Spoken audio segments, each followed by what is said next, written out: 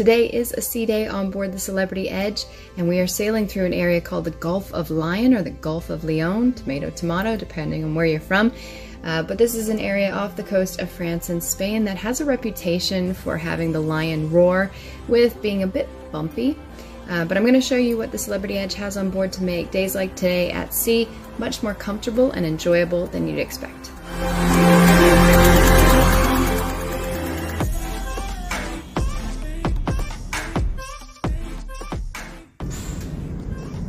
All right, we've got about 60 knots of wind, and here is Spain, here is France.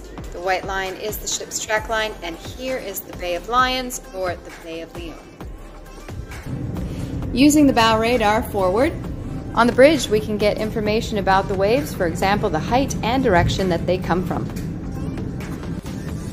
We have two stabilizers on board the Celebrity Edge, one on each side. This is what they look like when they're housed. And how they work is when the ship starts to list to one side, the stabilizer will dig in on the opposite side and right the vessel.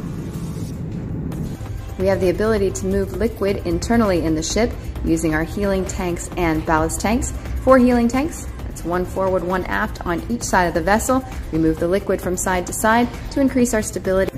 So on a day like today where the seas are five and a half meters or 18 feet, using our stabilizers, our ballast tanks, and our heeling tanks, we can monitor and keep the stability and keep us from rolling less than one degree either side.